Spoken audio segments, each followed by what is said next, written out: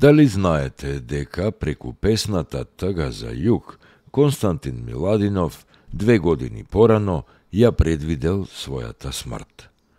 Тој починал на 18 јануари 1862 година во Истанбул, а песната Тага за југ ја напишал во Москва во 1860 година.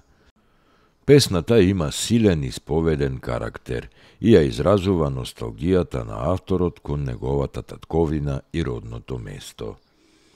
Во тоа време, Константин Миладинов е веќе четврта година емигрант во Русија и мошне тешко ги поднесува и статусот на откорнатик и климата на далечниот север.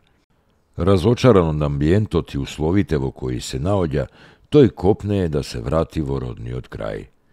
Пречувствувајќи ја својата блиска смрт, тој мечта е дома да ја дочека умирачката, што му е и наведено во последните два стиха од неговата песна.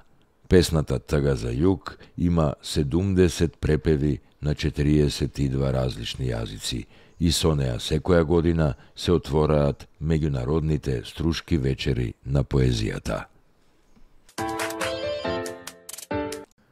Дали знаете дека првата бензиска пумпа во Велес е отворена во 1925 година на локацијата спроти комплекс од згради наречени Чешелот во центарот на градот.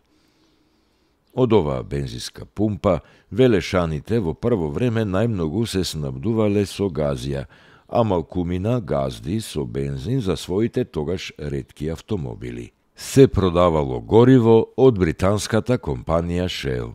Овој потаток зборува дека Велес бил меѓу првите градови во Македонија кој добил бензинска пумпа, дури пред Скопје.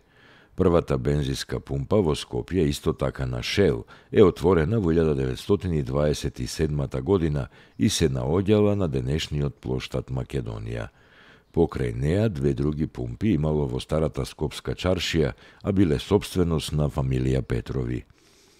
Првиот автомобил во Македонија од марката Ford Model F се појавил во Битола во 1905-тата.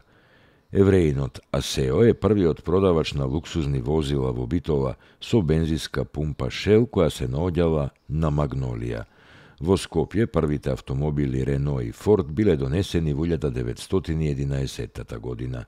Први собственици на автомобили биле трговци, доктори и индустријалци.